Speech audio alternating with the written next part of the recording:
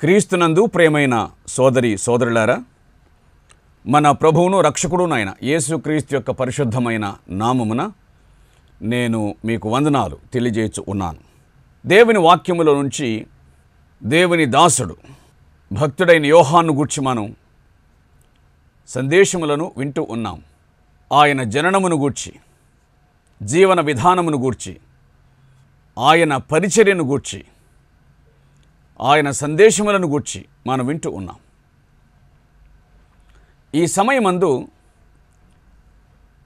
ఆయనను గూర్చి ప్రభు చెప్పిన మాటలను కొన్నింటిని మీ గమనమునకు తీసుకొని రావాలని మనవి చేస్తూ ఉన్నాను. ఇందులో భాగంగా మత్తైసు వార్త పదకొండవ అధ్యాయం మొదటి నుండి పద్దెనిమిది వచనాల వరకు మనము ధ్యానించవలసిన అవసరత ఉంది. మత్తైసు వార్త పదకొండవ అధ్యాయం. మొదటి నుండి క్రీస్తు చేయుచున్న కార్యములను గుర్చి యోహాను చెరసాల్లో విని రాబోవు వాడవు నీవేనా? మేము మరి ఒకరి కొరకు కనిపెట్టవలనా? అని ఆయనను అడుగుటకు తన శిష్యులను పంపెను. ప్రభు అయిన యేసు క్రీస్తును గూర్చి ప్రపంచానికి పరిచయం చేసిన వాడు బాప్తీస్మిచ్చిన యోహాను. ఆయనను గూర్చి ఎరుగని జనమునకు ఆయనెవరో పరిచయం చేసిన వాడు యోహాను. తాను చూడకపోయినా పరిశుద్ధాత్మ ప్రేరితుడై ప్రభు అయిన యేసుక్రీస్తును మెస్సయ్యను నాటి ప్రపంచానికి పరిచయం చేసి ఈయన నాకంటే ప్రముఖుడు అని ఈయన లోకపాపమును మోసుకొని పోవచ్చున్న దేవుని గొడపిల్ల అని ప్రభు అయిన యేసుక్రీస్తును గుర్చి పరిచయం చేసినవాడు అట్టివాడు యేసుక్రీస్తు ప్రభు చేయుచున్న కార్యములను గుర్చి విని అనుమానపడ్డాడు అని మనం అనుకోవలసిందే. ఏమిటి ఆ అనుమానం అనగా మెస్సియగా వచ్చినవాడు ఇష్రాయిలను విడిపించాలి. అనగా రాజకీయ విమోచన కలిగించాలి తన ప్రజలైన ఇస్రాయిలీలకు. అట్లు కాకపోయినా కనీసం తనకైనా ఈ ఖైదీ నుంచి విడుదల కలిగించాలి. తాను హేరోదు యొక్క పాపమును ఖండించిన హేతు చేత ఖైదులో ఉంచబడ్డాడు. కనీసం ఆ ఖైదు నుంచైనా సరే తనను విడిపించవలసి ఉంది. కానీ తనను పట్టించుకొనలేదు తన ప్రజలైన ఇస్రాయిలను సహా పట్టించుకొనలేదు. ఇంతకు ఈయన మస్యనేనా అన్నటువంటిది యోహాను యొక్క అనుమానం సందేహం. ప్రియులారా యోహానును ఎంతమాత్రమును కూడా తప్పు పట్టడానికి వీలు లేదు. యోహాను యేసుక్రీస్తు ప్రభువును గుర్చి తనకు ప్రత్యక్షపడిన మాటలను చెప్పాడు. అతని ఎక్స్పెక్టేషన్ అతని యొక్క ఆలోచన వేరుగా ఉంది. మెస్సియా తన ప్రజలను పరిపాలిస్తాడనే భావన వాస్తవమే కానీ యోహాను కూడా పాత నిబంధనకు చెందిన ప్రవక్త మాత్రమే. క్రొత్త నిబంధన అపోస్తుల కార్యముల గ్రంథం రెండవ అధ్యాయం నుండి ప్రారంభం అవుతుంది నూతన నిబంధన. ప్రభు అయిన యేసుక్రీస్తు రక్తం చేత ఏర్పడిన సంఘం. గనుక బాప్తిస్మిచ్చిన యోహాను సందేహం ఒకంత సందేహం కలిగిన వాడై తన దూతలను ప్రభువునద్దకు పంపించాడు. క్రీస్తు చేయుచున్న కార్యములు ఆ కార్యములను గుర్చి ప్రభువే చెప్పాడు. మీరు వెళ్ళి కన్న వాటిని విన్న వాటిని యోహానుకు తెలియజేయండి అని అన్నాడు. ఏం చేశాడు క్రీస్తు? గుడ్డివారు చూపొంచున్నారు కుంటివారు నడుచున్నారు కుష్ఠరోగులు శుద్ధులగుచున్నారు చెవిటివారు వినుచున్నారు చనిపోయిన వారు లేపబడుచున్నారు బీదలకు సువార్త ప్రకటింపబడుతూ ఉన్నది. ఈ కార్యములను ప్రభు అయిన యేసుక్రీస్తు జరిగించుచు ఉన్నాడు. వీటిని గూర్చియే యోహాను కూడా విన్నాడు. అభ్యంతరం ఏముంది? కానీ ఇంతకంటే ఇంకా ఎక్కువగా చేస్తాడని కదా? మెస్సియా మీద వారికి ఉన్నటువంటి ఆలోచన. అందుచేతనే ఇంతేనా? నీవేనా? అన్నట్లుగా సందేహాస్పదమైనటువంటి సమాచారాన్ని ప్రశ్నను ప్రభు దగ్గరికి పంపించాడు యోహాను.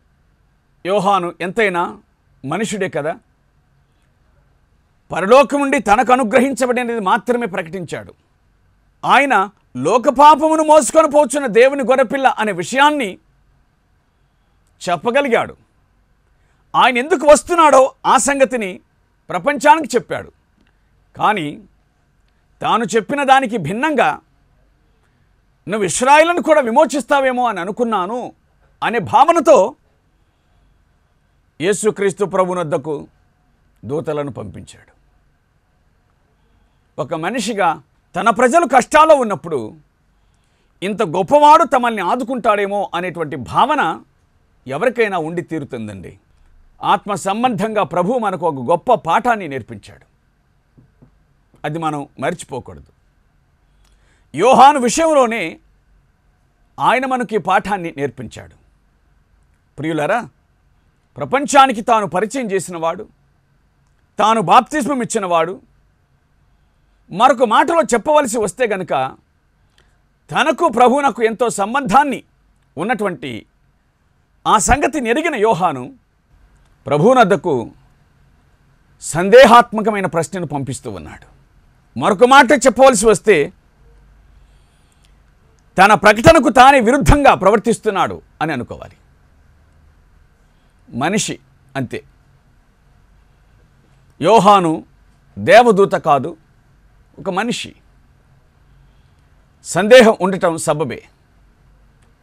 కానీ సందేహ నివృత్తి కోసం ఎవరిని గూర్చి సందేహపడుచు ఉన్నాడో ఆ ప్రభు దగ్గరికే దూతలను పంపించాడు.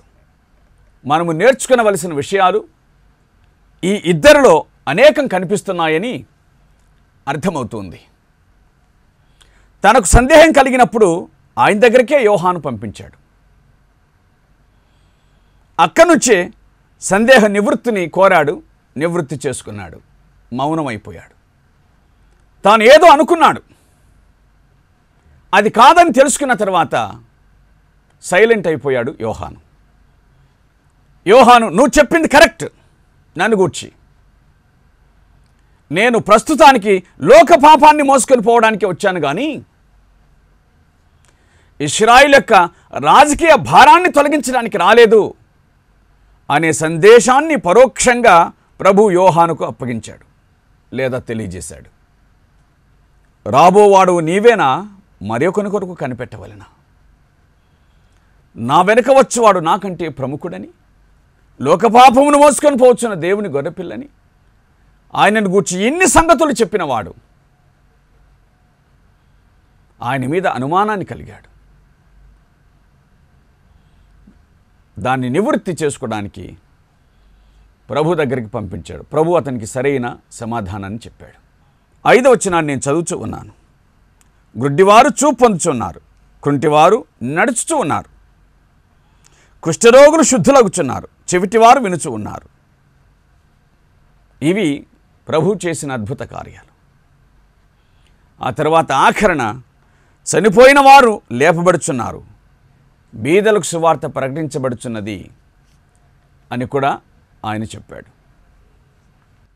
లూకాసు వార్త ప్రభు అయిన యేసుక్రీస్తు తనను గూర్చి వ్రాయబడిన లేఖనాన్ని చదివిన సందర్భాన్ని నేను గుర్తు చేస్తాను. లూకాసు వార్త నాలుగవ అధ్యాయము పదిహేడు పద్దెనిమిది వచ్చినారు ప్రవక్త అయిన ఇషయా గ్రంథం ఆయన చేతికి ఇవ్వబడిను. ఆయన గ్రంథం ఇప్పగా ప్రభు ఆత్మ నా మీద ఉన్నది. బీదలకు సువార్త ప్రకటించుటకై ప్రభువును అభిషేకించను. చెరలోనున్న వారికి విడుదలను. గ్రుడ్డివారికి చూపును కలుగునని ప్రకటించుటకును. నలిగిన వారిని విడిపించుటకును. ప్రభు హితవత్సరం ప్రకటించుటకును ఆయన నన్ను పంపి ఉన్నాడు అని వ్రాయబడిన చోటు ఆయనకు దొరికెను. అది యషియా గ్రంథం అరవై ఒకటవ అధ్యాయం మొదటి రెండు వచనాలు. ఆయన గ్రంథము చుట్టి పరిచారకునికిచ్చి కూర్చుండెను. సమాజ మందిరములో ఉన్న వారందరూ ఆయనను తేరి చూడగా ఆయన నేడు మీ వినికిడిలో ఈ లేఖనం నెరవేరినదని వారితో చెప్పసాగెను. నేడు మీ వినికిడిలో ఈ లేఖనము నెరవేరినదని వారితో చెప్పసాగాను. ఏమిటా లేఖనం? బీదలకు సువార్త ప్రకటించుట. చెరలోనున్న వారికి విడుదల. గుడ్డివారికి చూపు. నలిగిన వారిని విడిపించుట. ఇవి అక్కడ వ్రాయబడిన సంగతులు. చెరలోనున్న వారికి విడుదల అనే మాట కనిపిస్తుంది కదా? నలిగిన వారిని విడిపించుట అనే మాట కనిపిస్తున్నాయి కదా? ఇవన్నీ భౌతికంగానే భావించినట్లుగా ఉన్నారు యోహాను మరియు యూదులైనటువంటి వారు. కాబట్టి వారు భౌతికమైన విడుదల కోరుకున్నారు. కానీ అపవాది నుంచి విడిపించబడుట అనే సంగతిని వారు గ్రహించలేకపోయారు. అపవాది బంధించిన ముప్పది ఎనిమిది ఏండ్ల నుంచి అపవాది చేత బంధించబడిన నడుము వంగిపోయిన స్త్రీని లేపుట అలాగే అనేకులను విడిపించుట ఈ సంగతులను వారు గ్రహించలేకపోయారు. భౌతిక విడుదల అని అనుకున్నారు కానీ ఆత్మ సంబంధమైనదని భావించలేకపోయారు. ఒక మాట గుర్తుంచుకోవాలి. సువార్త ప్రకటించుటకై ఆయన నన్ను అభిషేకించను. ప్రభు మీద ఉన్నటువంటి అభిషేకము సువార్త ప్రకటించడానికి అలాగే శరీర సంబంధమైన రుగ్మతలను జబ్బులను తొలగించడానికి అవసరాన్ని బట్టి. కానీ ఇస్రాయేలుకున్నటువంటి చెరను మాత్రం విడిపించడానికి కాదు. ఎందుకంటే ఒకేసారి లోకపాపమును మోసుకొని పోవుట అలాగే భౌతికంగా రాజ్యమును సాధించుట. ఈ రెండు కాని పని అని మనం గుర్తుంచుకోవాలి. ప్రియులారా ఈ మాటలు మీకు అర్థం కావాలని నేను కోరుచు ఉన్నాను. అదేమిటనగా ఆత్మ సంబంధమైన కార్యాన్ని అట్లాగే శరీర సంబంధమైన కార్యాన్ని రెండింటిని ఒకేసారి చెయ్యజాలం చేయలేం అని మనం గుర్తుంచుకోవాలి. ప్రభు మనలను పాపం నుంచి విడిపించడానికి ఆత్మ సంబంధమైన విమోచనను కలిగించడానికి వచ్చాడు. ఆ సంగతిని యోహానే గట్టిగా చెప్పాడు. ఇదిగో లోక పాపమును మోసుకొని పోవచ్చున్న దేవుని గొర్రెపిల్ల వాస్తవమే వ్రాయబడిన ప్రవచనం మాత్రం వాస్తవమే. అయితే ఆయన ప్రస్తుతానికి శరీర సంబంధమైన విడుదలను కలిగించడానికి లేక రాజ్యము వలన బంధించబడిన వారిని విడిపించడానికి మాత్రం రాలేదు కానీ పాపం వలన బంధించబడిన వారిని విడిపించడానికి వచ్చాడు. కనుకనే ఈ సంగతులను యోహానుకు చెప్పమని అతని శిష్యులకు ప్రభు జవాబిచ్చాడు. ఆయన ఆ మాట చెబుతూ చెబుతూ పలికిన ఒక మాటను గుర్తు చేస్తూ ఉన్నాను. ఆరవచనం. మత్తైసు వార్త పదకొండవ అధ్యాయం. మరియు నా విషయమై అభ్యంతర పడనివాడు ధన్యుడు అని ఉత్తరమిచ్చాను. యోహాను నా విషయమై అభ్యంతర పడవద్దు. ఎందుకు? రెండు విషయాలు. ఇస్రాయలకు రాజ్యాన్ని ఇవ్వలేదే అని అభ్యంతరపడకు కనీసం నిన్నైనా విడిపించలేదే అని అభ్యంతరపడకు నా విషయమై మీకున్న ఆ అనుమానం తొలగిపోవాలి. నన్ను గూర్చి నువ్వు చెప్పిన మాట కరెక్టే. నువ్వు ప్రపంచానికి పరిచయం చేసిన వాడను నేనే సరైన వాణ్ణే పరిచయం చేశావు. అందులో అనుమానం లేదు. శంకించకు అని ఆయన ఉత్తరమిచ్చాడు. యోహాన్ యొక్క అనుమానాన్ని తీసివేశాడు. దేవునికి స్తోత్రం. పాఠం నేర్చుకోవాలి అని వింటున్నాం కదా మొదటిది. ఏదైనా అనుమానం ఉంటే ఎవరి మీదనైనా వారినే అడుగుట మంచిది. మన మీద ఎవరికైనా అపోహ ఉంటే దాన్ని తొలగించట కూడా మంచిది ప్రభువలే. ఇది మనం నేర్చుకునవలసిన పాఠమని నేను మనవి చేయించు ఉన్నాను. సరికదా ప్రభు చాలా స్పష్టంగా యోహానుకు తెలియజేశాడు. అభ్యంతరపడకు. నన్ను గూర్చి ఇబ్బంది పడకు. ఎందుకంటే యోహానుతో ప్రభు చెప్పిన మాట యోహానుకు గుర్తుకు రావాలి. నీతి యావత్తిలాగు నెరవేర్చుట మనకు తగి ఉన్నదని అన్నాడు. మనము నీతిని నెరవేర్చడానికని వచ్చిన వాళ్ళమే అంతే. అది మన పని. మనం దాన్ని జరిగించాలి. యోహానుకు అతని శిష్యులు ఈ సమాచారాన్ని అందించి ఉంటారు. అతడు విన్నాడు. యోహానుకు అర్థమైంది. ఏమర్థమైంది అనగా ఇక నేను వెళ్ళిపోయే కాలం సమీపమైంది. నా నిర్గమం సమీపించింది. నా పని ముగించబడింది. నేను వెళ్ళిపోతాను. అవును. మళ్ళీ మనవి చేస్తూ ఉన్నాను. యేసుక్రీస్తు ప్రభు అంతటివాడే ఏమైనా చేయగలిగిన వాడే. యోహాన్ను ఎందుకు విడిపించలేదు? అని అనగా జాగ్రత్తగా గుర్తుంచుకుందాం. శరీర సంబంధమైన విమోచనను కలిగించడానికి ఆయన వచ్చినవాడు కాదు అనే సంగతిని గుర్తుంచుకుందాం. రికమెండేషన్స్ ప్రభు దగ్గర పనికిరావు అని గుర్తుంచుకుందాం. ఆత్మ సంబంధమైన విషయంలో శరీర సంబంధమైన రికమెండేషన్స్ పనికిరావు. ఎందుకంటే ప్రభు తన నిమిత్తమే ఏ రికమెండేషన్ను ఆయన ఉపయోగించుకొనలేదు. పౌలు తన నిమిత్తం ఏ రికమెండేషన్ ఉపయోగించుకొనలేదు. యోహాను ఏ విధమైన రికమెండేషన్ ఉపయోగించుకోలేదు. ఆత్మ సంబంధమైన మనుషుడు శరీర సంబంధమైనటువంటి ప్రభావం మీద ఆధారపడడు. తను ఎవరి కోసం బ్రతికాడో ఆయనకే చెప్పుకుంటాడన్నీ. ప్రియులారా యోహానికి అర్థమైంది తాను వెళ్ళిపోవాలని. యోహాను వెళ్ళిపోయాడు చనిపోయాడు. ఈ సందర్భంగా యోహాన్ యొక్క నిర్గమమును గూర్చి వెళ్ళిపోవటను గూర్చి చెప్పవలసిన అవసరము ఉంది. ఈ సంగతిని గూర్చి దేవుని వాక్యం ఏం చెప్తుందో ఆ మాటను నేను మీ దృష్టికి తీసుకొని వస్తాను. చూడండి మార్క్స్ వార్త ఆరవ అధ్యాయమునందు వ్రాయబడిన ఈ సంగతిని నేను గుర్తు చేస్తూ ఉన్నాను. పదిహేడు వచ్చిన నుంచి హేరోదు తన సహోదరుడగు ఫిలిప్ భార్య అయిన హేరోదును పెళ్ళి చేసుకొనందున యోహాను నీ సహోదరుని భార్యను చేర్చుకుంటే నీకు న్యాయం కాదని హేరోతో చెప్పాను గనుక. వింటున్నారా? యోహాను సమాజంలో ఉన్న నాయకుని పాపాన్ని ఖండించాడు. అందుకు చెరసాల్లో వేయబడ్డాడు. ఆ తదుపరి హేరోది అతని మీద పగబట్టింది. సందర్భం వచ్చినప్పుడు తన కుమార్తె చేత హేరోదును సంతోషపరిచి యోహాన్ యొక్క తల కొట్టించేసింది. దేవుని వాక్యమునందు స్త్రీలు కనిన వారిలో అంత గొప్పవాడు లేడు. అని చెప్పబడిన యోహాన ఈ విధమైన మరణాన్ని అనుభవించింది. ఎంత శ్రేష్టమైన మరణాన్ని యోహాను అనుభవించాలండి? ప్రభువును గూర్చి పరిచయం చేస్తే ప్రభువును గూర్చి మాట్లాడితే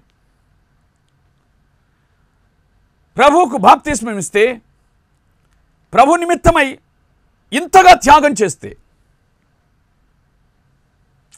ముగింపు ఎంత సుందరంగా ఉండాలి ఎంత బ్రహ్మాండంగా ఉండాలి ఎంత మహిమకరంగా ఉండాలి అని అనుకుంటామేమో ఈ సంఘటనను బట్టి దేవుని వాక్యం మనకు నేర్పించే పాఠం ఏమిటనగా దేవుడు మన జీవితాన్ని మాత్రమే లెక్కలోనికి తీసుకుంటాడు.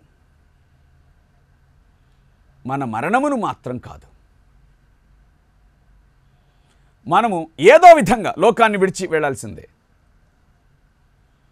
సహజ మరణం. అనారోగ్యం వలన యాక్సిడెంట్ల వలన రకరకాలైన రీతులుగా లోకాన్ని విడిచిపెట్టి వెళ్ళిపోవాల్సిందే. మనకంటే ముందున్న వారు ఆ విధంగా తమ ప్రయాణాన్ని ముగించారు. శరీరము తునాతునకలైపోయినటువంటి వారు ఉన్నారు ప్రమాదాల్లో. అంత మాత్రం చేత వారు ఘోరమైన దుర్మార్గులు కాదని గుర్తుంచుకోవాలి.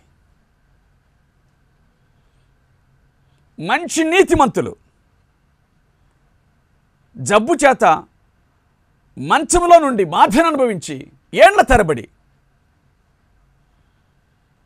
ప్రాణం విడిచిన వాళ్ళు ఉన్నారు. వారు పాపాత్ములు కాదు. కొందరు సువార్త నిమిత్తమై యోహాను వలె హతసాక్షులైన వారు ఉన్నారు. వారు దుర్మార్గులు కానే కారు. ప్రియులారా లోకాన్ని విడిచిపెట్టడం అన్నటువంటిది దేవుని వాక్యం మనకు నేర్పించేటువంటి సత్యం.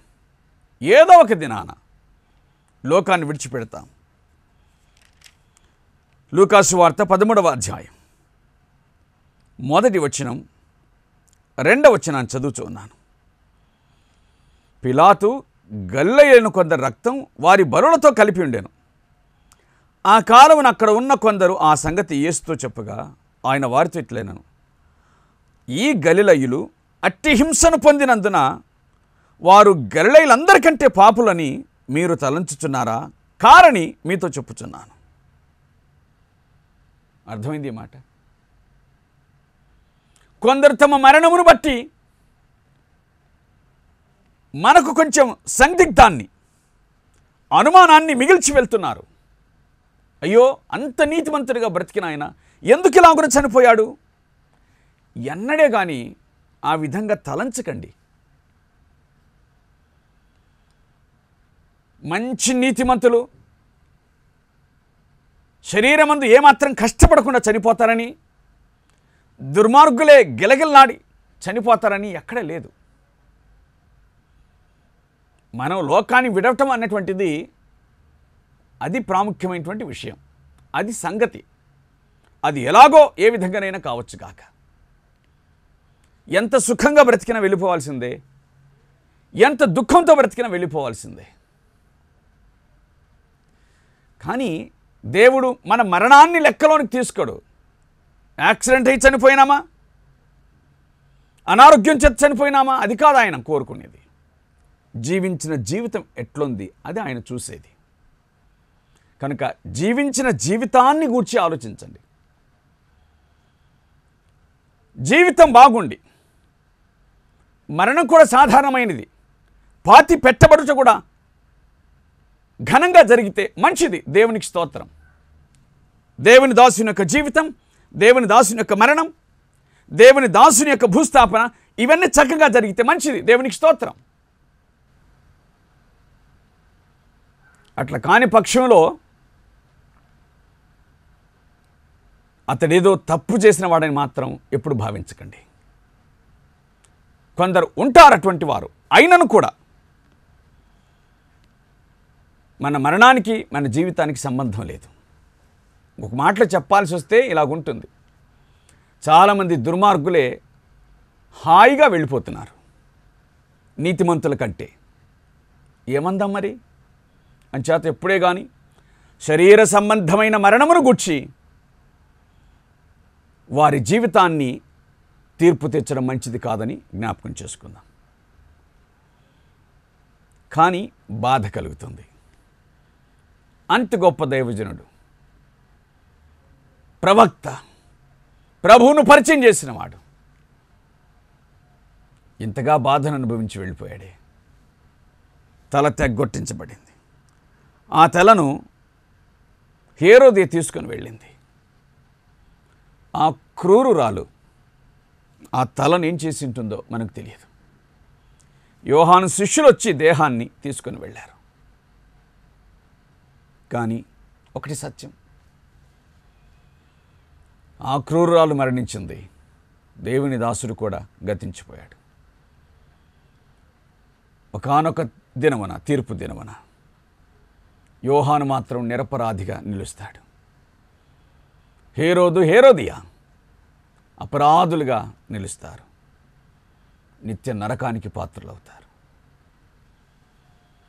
పాపం విషయమై దేవుని దాసులు మిమ్మల్ని ఖండిస్తూ ఉంటే స్వీకరించండి. మారు మనసు పొందండి. దేవుని వాక్యం గద్దిస్తూ ఉంటే మారు మనసు పొందండి. అంతేకాని దేవుని దాసులను గద్దించకండి. హింసించకండి. ఒకవేళ అట్లు చేస్తే మీ ఇష్టం. ఎందుకంటే మరణం ఏ దినమైన తథ్యం. కానీ మన చర్యలను బట్టి తీర్పు ఉంటుందనే సంగతిని మర్చిపోవద్దు. లోకానికి ప్రభువును గూర్చి సాక్ష్యం ఇచ్చినవాడు. విషాదంతో ముగించబడ్డాడు అని అనిపిస్తుంది కానీ అది ప్రభు అనుమతించిన మరణం. ఇంతకు ప్రభు అయిన యేసుక్రీస్తు మన కొరకు ఎలాంటి మరణాన్ని మరణించాడు? ఘోరమైన మరణం. శిలువ మరణం. హేయమైనది. నీచమైనది. ఎస్ మన పాపమును తన మీద వేసుకొని ఆ ప్రియరక్షకుడు మన కొరకై ఘోరమైన బాధను అనుభవించాడు. మనల్ని నీతిమంతులుగా తీర్చుటకు. మన పాపమును తుడిచివేయటకు. ఇంకా మారు మనసు పొందకపోతే జీవితాన్ని ఆయనకు అప్పగించండి. మారు మనసు పొంది ఉంటే ఆయనకు ఇష్టలుగా ఆయన మహిమార్థమై జీవించండి. లోకంలో దేవుని లెక్కలోనికి వచ్చేది కేవలం మనం జీవించిన ఈ జీవితం మాత్రమే అని జ్ఞాపకం చేసుకుందాం. లోకాన్ని విడిచి వెళ్ళడం అనేటువంటిది సహజం. ప్రయాణం అది ముఖ్యమైనది. వాహనం కాదు. కొన్నిసార్లు మనం సైకిల్ మీద వెళ్ళొచ్చు మోటార్ సైకిల్ మీద వెళ్ళొచ్చు ఆటో మీద వెళ్ళవచ్చు లారీల మీద వెళ్ళవచ్చు రైళ్ళలోనూ విమానంలోనూ వెళ్ళవచ్చు వాహనం ఏదైనా కావచ్చు. ప్రయాణమే ముఖ్యం. మనల్ని ముగించడానికి వాహనం ఏదైనా కావచ్చు. కానీ మన జీవిత ప్రయాణం ప్రాముఖ్యమైనది దాని విషయమై జాగ్రత్త పడి ప్రభునకు ఇష్టలుగా మనం జీవిద్దాం. అట్టి కృపను ప్రభు మనకు అనుగ్రహించి దర్శించునుగాక ఆమెన్. ప్రార్థన చేద్దాం. ప్రేమ కలిగిన తండ్రి మీకు స్తోత్రాలు. మమ్మల్ని కనికరించండి. మీ వాక్య ప్రకారంగా జీవించుటకు సహాయం చేసి బలపరచండి. మహిమా ఘనత ప్రభావాలు మీరు పొందమని అడుగుచు. చెప్పబడిన మాటలను ఆలోచించి అర్థం చేసుకునే సామర్థ్యం కృపను మీ బిడ్డలకు అనుగ్రహించి మహిమను పొందమని. లోకంలో ఆశీర్వాదాల వైపు మాత్రమే చూడబడినటువంటి మా నేత్రాలు. దానికంటే మించిన దాన్ని చూచుటకు సహాయం చేయమని వేడుకొనొచ్చు కనికరం చూపించి మహిమను పొందమని మా ప్రభు అయిన యేసుక్రీస్తు పేట ప్రార్థించి వేడుకొనుచున్నాము తండ్రి. ఆమెన్.